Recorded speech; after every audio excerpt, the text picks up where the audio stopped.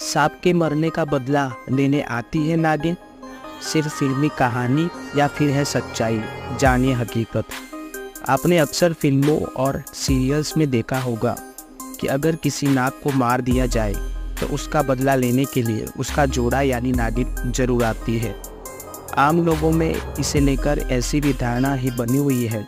चलिए जानते हैं कि इसके पीछे कुछ सच्चाई भी है या फिर है सिर्फ़ एक भ्रम।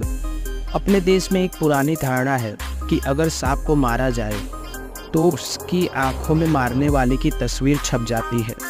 बाद में उसका जोड़ा अपने पार्टनर की मौत का बदला ज़रूर लेता है। फ़िल्मों में इसे धारणा को और मज़बूत किया। यही वजह है कि आज भी सांप को मारने के बाद उसका सिर पूरी तरह कुचल दिया जाता है।